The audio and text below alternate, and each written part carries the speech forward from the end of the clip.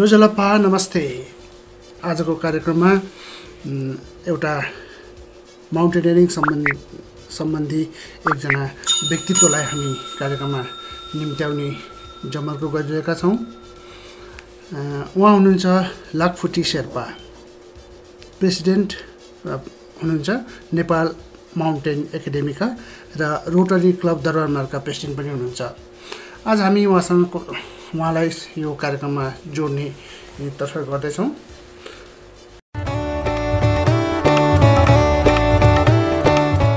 समय सन्दर्भ। समसामयिक विषयहरूको साथमा समय सन्दर्भ। जनस्वास्थ्य शिक्षा तथा आम नागरिकका ताजा विषयवस्तु समेटेर तयार पारिने समय सन्दर्भ। नेपाल माउन्टेन एकाडेमीका प्रेसिडेन्ट लाखफुटी शेर्पासँग हामी कुराकानी गर्दैछौँ। लाखफुटी शेर्पाज्यू नमस्ते। हाम्रो कार्यक्रममा यहाँलाई हार्दिक स्वागत छ। हजुर नमस्ते। हजुर नमस्ते। यो समय सन्दर्भ कार्यक्रम नेवा एफएमको एक सय छ पोइन्ट छमा प्रस्तुत गरिन्छ। प्रत्येक आइतबारदेखि शुक्रबारसम्म पाँच बजीदेखि प्रस्तुत गर्नेछौँ हामी। र अहिले देशमा फैलिरहेको यो कोभिडका कारण हामीले यसलाई अलिकति कोभिड स्पेस विशेष भनेर पनि कोरोना विशेष भनेर पनि प्रसारण गरिरहेका छौँ। अनि। अहिले यो देशमा चाहिँ संसारमै भनौँ न यो कोभिड नाइन्टिनले गर्दाखेरि एकदमै असर परिरहेको छ। देशको यो पर्यटन व्यवसाय हाम्रो देशको प्रमुख विदेशी आय स्रोत पनि हो। र यसमा अहिले कतिको असर परेको छ। हजुर अलिकति समग्रमा भनिदिनुहोस् न अब यो खासमा टुरिज्म सेक्टरमा त यति असर परेको छ कि त्यसको त भनेर साधिँदै छैन होइन यो। त होल तपाईँले अब काठमाडौँ भ्यालीभित्र नै हेर्ने हो भने पनि five star four star three star होटलहरू सबै बन्द छ होइन खोले पनि।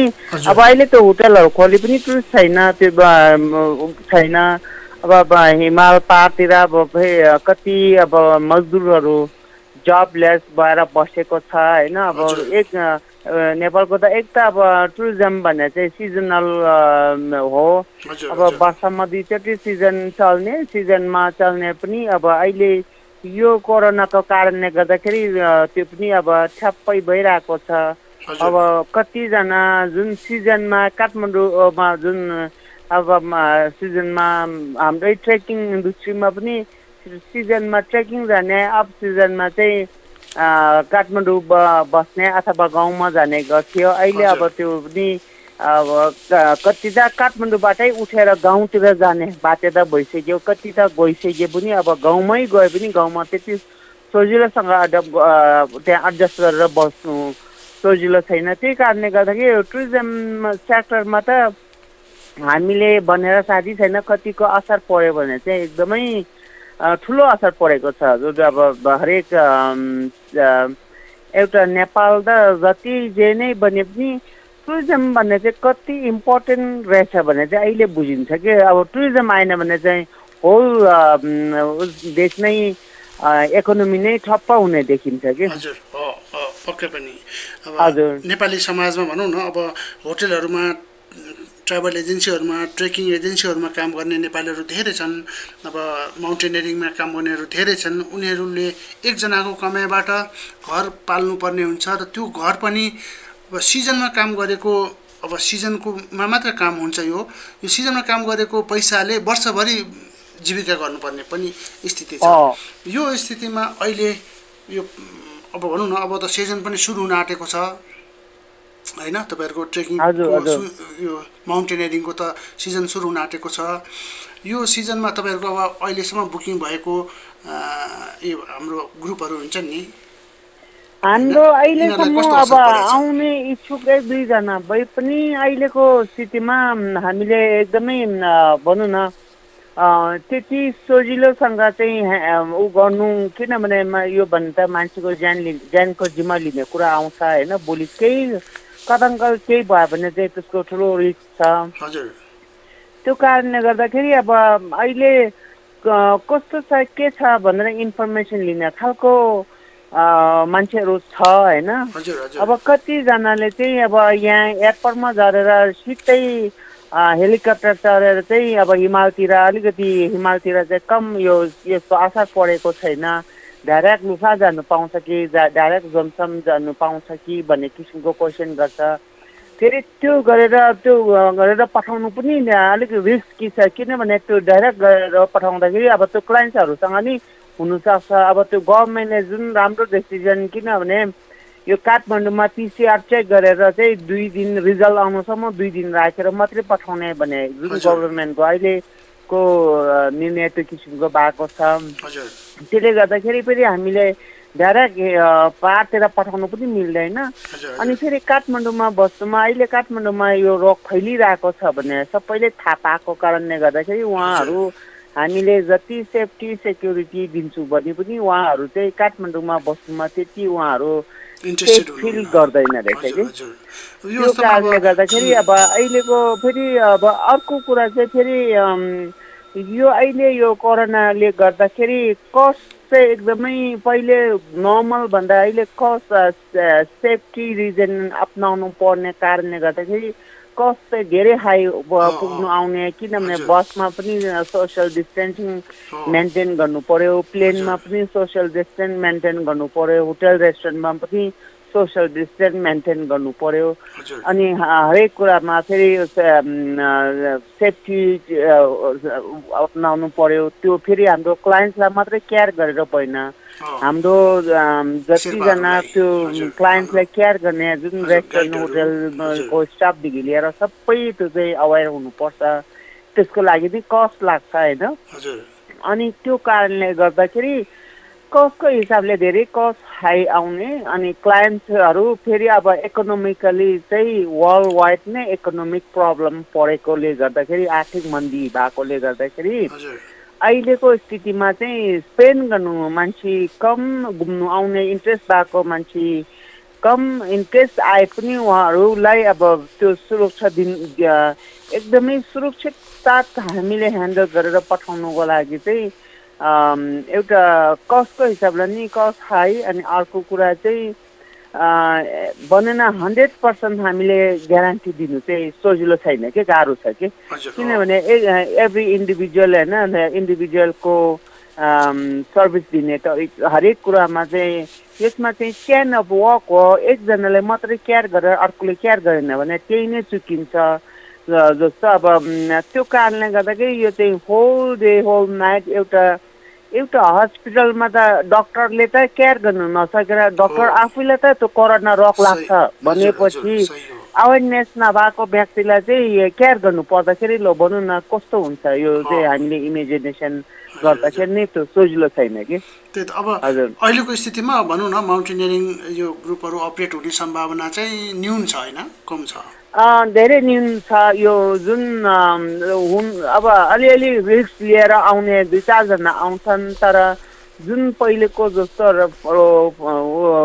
आउने त्यो खालको चाहिँ अलिकति त्यो खालको चाहिँ हरेक कुराले गर्दाखेरि त्यति सजिलो छैन कि बरु हाम्रै लोकल टुरिज्म चाहिँ अब रिस्क लिएर नै घुम्नु जाने भन्ने किसिमको चाहिँ त्यो चाहिँ हुनसक्छ लोकल र अब लोकल जाँदाखेरि लोकलले त प्रायः जस्तो आफूले ठाउँ थाहा छ रेस्टुरेन्ट चल्छ सर्टन लजेसहरू चल्छ तर फेरि उहाँहरू सबैले अब गाइडै लिएर होल जान्छ भन्ने छैन।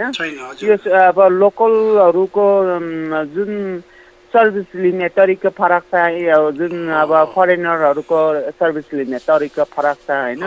अहिलेसम्म हामीसँग म्यान पावर तयारी भएको भने चाहिँ होटल रेस्टुरेन्टको हिसाबले चाहिँ लोकललाई सम्हाल्न सक्ने किसिमको छ तर एउटा प्याकेज नै लिएर जाँदाखेरि चाहिँ त्यो जुन अब लोकल गाइडहरूले नै जब हुने लोकल भनौँ न त्यो खालको चाहिँ फेरि त्यो चाहिँ अ, व- व- भनौँ न फरेनर एउटा बाहिरको टुरिस्ट नै नआइकन चाहिँ हाम्रो लोकलले चाहिँ हतपत त्यो गाइडै लिएर जाने।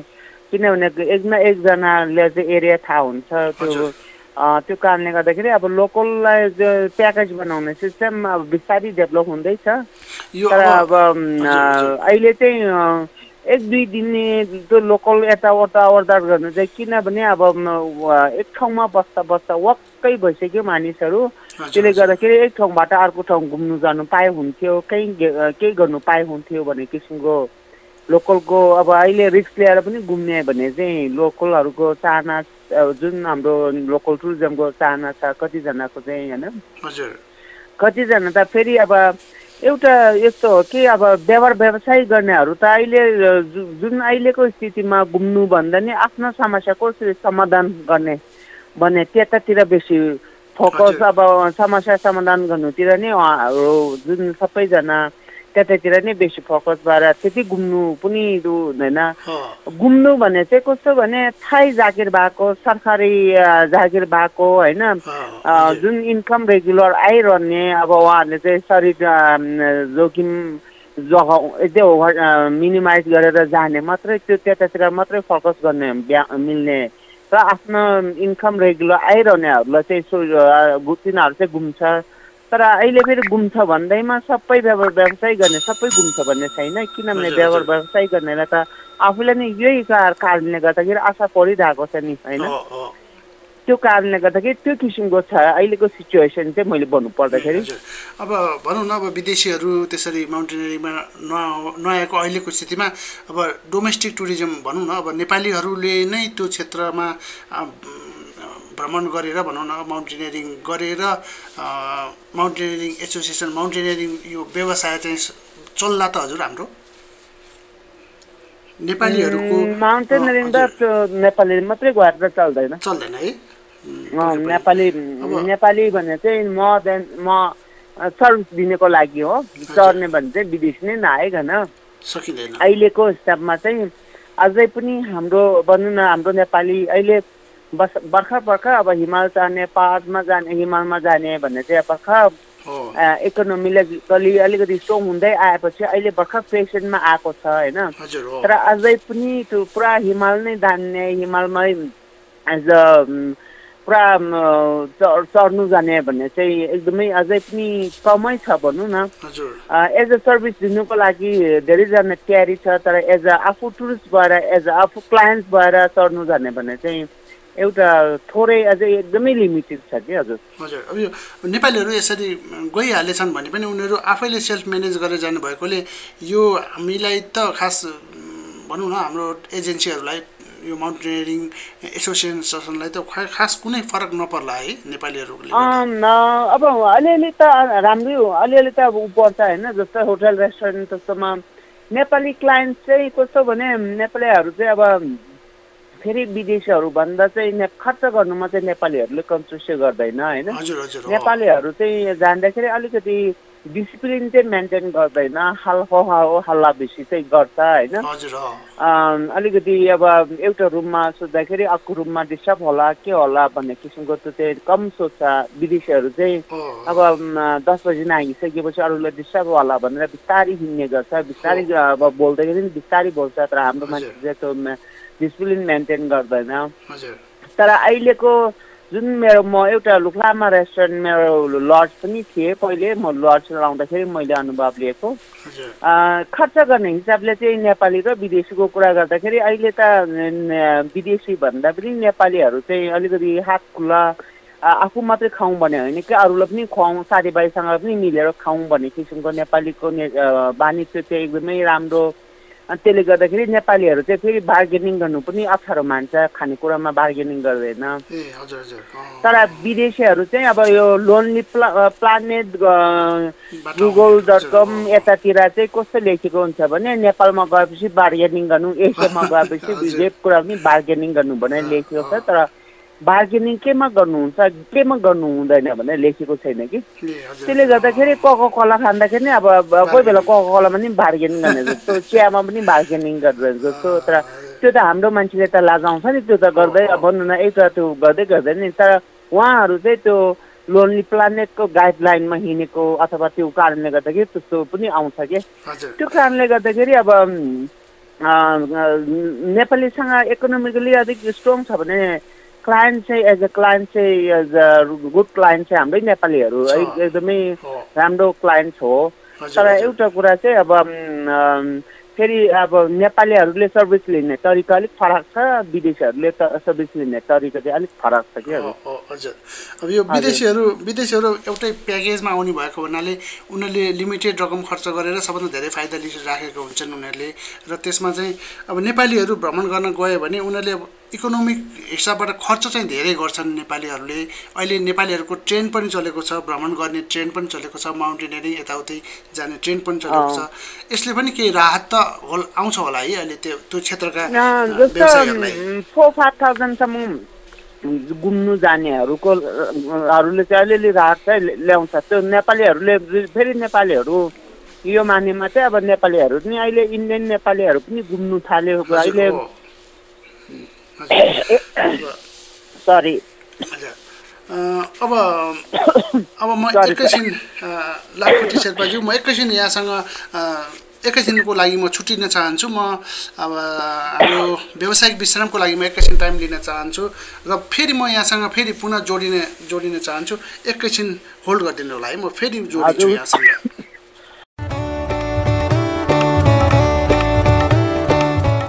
समय सन्दर्भ। समसामयिक विषयहरूको साथमा समय सन्दर्भ। जनस्वास्थ्य शिक्षा तथा आम नागरिकका ताजा विषयवस्तु समेटेर तयार पारिने समय सन्दर्भ। हजुर कार्यक्रममा म एकपटक पुनः यहाँलाई स्वागत गर्न चाहन्छु। हजुर धन्यवाद हजुर अब नेपालमा भनौँ न अब माउन्टेनियरिङको हिसाबमा भन्नुपर्दाखेरि संसारको दसवटा आठ हजार मिटर अग्लो हिमालहरूमध्ये आठवटा हिमाल यहीँ पर्ने भएकोले यो व्यवसाय त अब जति वर्ष लागे पनि फर्केर त आखिर नेपालमै आउँछन् भन्ने हामीले आशा गरेका छौँ। तर यो यसको लागि अब सरकारी तौरबाट माउन्टेनियरिङ एसोसिएसनलाई कुनै किसिमको राहत सहुलियतहरू र कुनै के दिनुभएको छ कि छैन होला?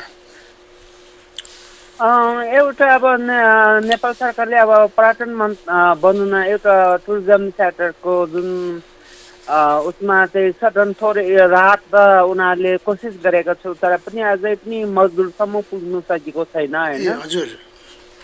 त्यो राहतलाई अलिकति अब त्यो राहतलाई गर्नु सजिलो छैन किनभने त्यो म्यानेज गर्नु सजिलो छैन त्यो लिमिट उसमा हुन्छ अब ब्याङ्क सहुलियतहरू पनि गभर्मेन्टले चाहिँ गर्नु कोसिस गरेको छ होइन? गभर्मेन्टबाट नभएको होइन गभर्मेन्टले पनि सक्दो म्यानेज गर्नु कोसिस गरिरहेको छ।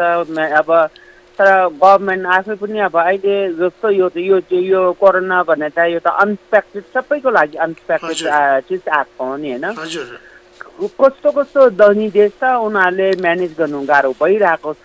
तर। हाम्रो त अब जति जति नै भने पनि हामी अलिक गरिब गरिब मुलुक हो होइन? त्यसले गर्दाखेरि हाम्रो अब गभर्मेन्ट पक्षबाट पनि उनीहरूले सकेसम्म म्यानेज गर्नु सक्ने कोसिस गर्नु कोसिस गरिरहेको छ प्याकेजहरू डेभलप गर्नेदेखि लिएर अलिकति सहुलियत अब कता भनेर के गरेर हुन्छ कि म्यानेज गर्नु कोसिस गरिरहेको छ ब्याङ्क लोन सुविधादेखि लिएर कोसिस गरिरहेको छ। त्यसमा हामीले स्वागत नै गर्नुपर्छ किनभने अब गभर्मेन्ट पक्षबाट पनि अब गभर्मेन्टलाई पनि हामीलाई जति अब हामी तपाईँ हामी इन्डिभिजुअल अब हामी व्यवसायले जति अब व्यापार भएन गभर्मेन्टलाई पनि अब ट्याक्स रेभेन्यू आउँदैन होइन? गभर्मेन्टको असर भन्ने चाहिँ अब हामीले अहिले आइसात पर्न थालिसक्यो। अब यसको असर गभर्मेन्टलाई भन्ने चाहिँ नेक्स्ट इयर झन् बेसी देखिन्छ कि। अब नेक्स्ट इयर ट्याक्स कम हुन्छ धेरै कुरामा चाहिँ अब असर पर्दै जान्छ होइन? त्यो कारणले गर्दाखेरि अब यसमा चाहिँ अहिलेको हिसाबमा चाहिँ अब हाम्रो नेपाल माउन्टेन एकाडेमीले अब हामीले चाहिँ जस्तो ब्याचलर एन्ड माउन्टेनियरिङ भनौँ थर्ड ब्याचको सुरु भइरहेको छ हामीले। अनलाइन क्लासहरू दिइरहेको छ हाम्रो मास्टर्स इन एडभेन्चर टुरिज्म सुरु भइसकेको छ यो वर्षदेखि त्यो पनि क्लास अनलाइन भइरहेको छ होइन? र हाम्रो अब हामीले अहिले प्रिपेयर भएर बस्नुपर्ने भने चाहिँ हामीले तालिम दिएर म्यान पावरहरू तयार हुनु पऱ्यो एकाडेमी माउन्टेन भन्ने चाहिँ फेरि एसएन डिसेन मात्रै होइन। माउन्टेन हाम्रो माउन्टेन एकाडेमी मेरो हाम्रो मेरो धारणा भन्ने चाहिँ के हो भने माउन्टेन चाहिँ अहिलेसम्म मानिसहरूले माउन्टेन चाहिँ चढ्ने एसएन डिसेन मात्रैको लागि युज गरेको छ। माउन्टेन भन्ने त यति रिच हो। माउन्टेन रिलेटेड त कति स्टडी गर्नु छ नि? Mountain flower. Fauna mountain people mountain geology mountain geography mountain meteorology mountain medicine कति स्टडी गर्नु छ होइन? भविष्यमा गएर माउन्टेन रिलेटेड स्टडी गर्नु मानिसहरू संसारभरिको चाहिँ हामीले मा नेपालमै एट्र्याक्ट गर्नु सकिन्छ नेपालमा चाहिँ माउन्टेन रिलेटेड रिसर्चदेखि लिएर हाम्रो माउन्टेन एकाडेमी मेरो चाहना भने चाहिँ मेरो सपना भने चाहिँ नेपालमा चाहिँ माउन्टेनियरिङ विश्वविद्यालय इस्टाब्लिस गर्नुपर्छ त्यो नेपालमा चाहिँ नेपालभरिको मानिसलाई नेपालको भोलिको युथहरू चाहिँ विदेशमा जाने होइन विदेशी। युथहरू नेपालमा चाहिँ माउन्टेन स्टडी गर्नु आउँछ। माउन्टेन साइन्स अहिले अब हामी Nepal mountain एकाडेमीले mountain science masters in mountain साइन्समा चाहिँ हाम्रो सिलेबस त्यो त्यसको लागि डेभलप गरिरहेको छौँ। अहिलेसम्म चाहिँ हाम्रो bachelor in masters in adventure tourism हामीले सुरु गरिसक्यौँ तर अब हामीले चाहिँ मास्टर्स इन माउन्टेन साइन्स पनि हामीले क्यारी गर्दैछु होइन? त्यो कारणले गर्दाखेरि हाम्रो चाहना भने चाहिँ हिजोको दिनमा घुम्नु आउने टुरिस्ट टुर ट्रेकिङ गर्ने टुर गर्नु आउने टुरिस्ट एक हप्ताको लागि आउँछ अथवा दस दिनको लागि आउँछ टु- ट्रेकिङ गर्ने टुरिस्ट चाहिँ दुई तिन हप्ताको लागि आउँछ। हिमाल चढ्नु टुरिस्ट चाहिँ दुई तिन महिनाको लागि आउँछ भने चाहिँ हाम्रो टार्गेट भोलिको दिनमा चाहिँ आजसम्म हामीले नेपालीहरूलाई जुन हामीले चाहिँ एकाडेमी एडुकेसन सुरु गरिसक्यौँ ब्याचलर इन माउन्टेन मास्टर्स यो सुरु गरिसक्यौँ र हाम्रो टार्गेट भविष्यमा भने चाहिँ अब विदेश विदेशी अ, हरू पनि नेपालमा माउन्टेन रिलेटेड एडुकेसन चाहिँ नेपालमा लिनु आउनुपर्छ। माउन्टेन त नेपाल त ओपन युनिभर्सिटी सरह हो माउन्टेन। रिलेटेड त। र सबै नेपालमा चाहिँ माउन्टेन अध्ययनको लागि चाहिँ नेपालमा आउनु मैदान बनाउनु पर्छ त्यो भयो भने नेपालीहरू सबैले जब पाउँछ होटेल रेस्टुरेन्ट चल्छ युथहरूले जब पाउँछ अनि विश्वभरि नेपालको विषयमा प्रचार पनि हुन्छ। त्यो कारणले गर्दाखेरि अहिले हाम्रो माउन्टेन एकाडेमीले चाहिँ जुन यो चिजहरू चाहिँ फेरि विश्वमै पहिलोचोटि हो अरू देशमा हाम्रो खालको एडुकेसन अहिलेसम्म अरू देशमा सुरु भएको छैन। यो चाहिँ हामी नेपालीले हाम्रो नेपालमा सुरु गर्नु सकिन भने भोलि अरू देशले सुरु गर्छ त्यसपछि फेरि हामीले चाहिँ हिमाल छ भनेर खालि तिन बजाएको जस्तो मात्रै हुन्छ भनेर चाहिँ हामीले चाहिँ एकदमै मेरो भनौँ न मेरो लिडरसिपमा चाहिँ यो। यो यो सबै माउन्टेन एडुकेसन अनि यो वर्षदेखि चाहिँ ताप्लेजुङमा पनि टेन प्लस टूको सिलेबस सुरुमा हामीले नै डेभलप गरेर। माउन्टेन एकाडेमीले डेभलप गरेर उता पाठ्यक्रम बोर्डमा पास गरेर अब अहिले टेन प्लस टू पनि हामीले जुन क्लास दिनु पाउँछ यो। वर्ष गभर्मेन्टले यो पनि निर्णय गरिसक्यो अनि अब ताप्लेजुङमा दुईवटा स्कुलमा यो ब्याच टेन प्लस टूमा पनि अब माउन्टेनिङ सब्जेक्ट लागु हुँदैछ। अरू देश अरू ठाउँमा पनि त्यस्तै हुँदैछ। हजुर। यो कारणले गर्दाखेरि यो माउन्टेन अब बिस्तारै गरेर हामी सबै एकजुट भएर हामीसँग जे प्रडक्ट छ त्यो प्रडक्टलाई चाहिँ सबैले सेल्स गर्नु सबैले त्यो जान्नु बुझ्नु जरुर छ होइन? अब जस्तो स्टोन्सहरूको राइट अरूले लगिसक्यो अरू देशले हाम्रै स्टोन्सहरू अरू देशले चाहिँ कपिराइट लिएर बेचिरहेको हुन्छ हाम्रै जडीबुटीहरू अरूले यर्थ गुम्बा अरूले बनाएर अरूले बेचिरहेको हुन्छ हामीसँग राइट छैन। अब यो हिमालको राइट पनि हामीले राख्न सकेनौँ भने भोलि अरू देशले त्यस्तै गरेर युज गर्छ त्यहाँबाट त हामी त अरूको मजबुत मात्र भएर का हजुर। अरूको जुन हामी हिमाल छ भनेर खालि तिन बजाएको जस्तो मात्रै हुन्छ। त्यो कारणले गर्दाखेरि अहिले हामी माउन्टेन एकाडेमीले चाहिँ यसमा एकदमै विशेष गरेर हामीले फोकस गरेर यसमा काम गरिरहेका छौँ।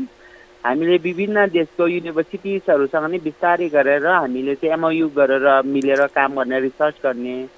तर त्यो सबै मैदान त्यो नेपालमा बनाउने भन्ने किसिमले चाहिँ हामी अगाडि सारिरहेको छौँ। यो चाहिँ हाम्रो भविष्य अब हामीले ट्रेकिङ गाइड तालिमहरू पनि अब प्र्याक्टिकल तालिम सहि- सहित गरेर चाहिँ हामीले चाहिँ म्यान पावरहरू उत्पादन गर्ने गरेका छौँ। अब बिस्तारै गरेर हामी अलिक लामो तालिमहरू र अलिकति अपग्रेड ताम अपग्रेडेड ता तालिमहरू दिने हाम्रो योजना छ। हामीले हाम्रो तालिमहरू अहिलेसम्म पनि राम्रै छ तर भविष्यमा चाहिँ अझै त्यसले पुग्दैन अझै राम्रो गरेर गर्नुपर्छ। अलिकति पर्फेक्ट बनाउनुपर्छ रिफ्रेसिङ कोर्सहरू डेभलप गर्नुपर्छ भनेर चाहिँ हामीले त्यो त्यतातिर नै हामीले ध्यान दिइरहेको छौँ। र हाम्रो टार्गेट भने चाहिँ अब अब भोलिको दिनमा फेरि अब यो कोभिड हटिएपछि त यो रोग हटिएपछि त फेरि नेपालमा टुरिस्ट त अब नेपाललाई माया गर्ने त कति देश छ होइन? हाम्रै नेपालीहरू पनि अब विदेशमा बसे पनि नेपाललाई नै माया गरिरहेको छ। नेपालमै कहिले आउँ भनेर सपना नेपालकै सपना बोकेर बसेको छ। त्यही हाम्रै नेपालीहरू विदेशमा बसेको पनि भोलि नेपालमै घुम्न आउँछ र विदेशीहरू पनि नेपालमा आउँछ। अनि कति नै देशको मानिसहरू त अब उनीहरूको लाइफ त कतिचोटि रिपिटेड भएर चाहिँ नेपालमा आउँछ। तिनीहरूको लागि पनि अब भोलिको दिनमा त फेरि हामीले अहिले फेरि एकदमै निराश भएर बस्नु पनि हुँदैन। हामी सुरक्षित साथ फेरि हामीले भविष्यको लागि अहिले तुरुन्तै क्लायन्ट्स आएन भने र निराश भएर बस्नु हुँदैन। अहिले हामीले चाहिँ फेरि सबै कुरा तयारी भोलिको लागि आज नहोला भोलिको लागि भनौँ न एक वर्षपछिको लागि अथवा दुई वर्षपछिको लागि अहिलेदेखि हामीले तयारी गर्नुपर्छ। अहिलेदेखि हामीले तयारी गऱ्यो भने त्यतिखेर उहाँहरू आउँदाखेरि हाम्रो पर्फेक्ट हाम्रो चाहिँ उहाँहरूले रिसे रिसिभ गर्नुको लागि हाम्रो क्लायन्ट्सले रिसिभ गर्नुको लागि हामी तयारी हुन्छौँ होइन? हाम्रो भन्ने चाहिँ नेपालीको भन्ने चाहिँ फेरि नेचुरल हस्पिटालिटी हो नेचुरल प्रडक्ट हो। अरू देशको चाहिँ natural artificial hospitality artificial product हो। तर हामीसँग जे छ हाम्रो नेपालीले जे दिएको छ त्यो चाहिँ नेचुरल हस्पिटालिटी नेचुरल प्रडक्ट हो होइन? त्यसले गर्दाखेरि त्यो नेचुरल हस्पिटालिटी नेच नेचुरल म्यान पावरलाई पनि अलिकति पोलिस गर्नुपर्छ ने हाम्रो नेचुरल प्रडक्ट प्रडक्टलाई पनि अलिकति पोलिस गर्नुपर्छ। हाम्रो रोड बाटोघाटोहरू पनि अलिकति अपडेट गर्नुपर्छ अलिक म्यानेज गर्नुपर्छ।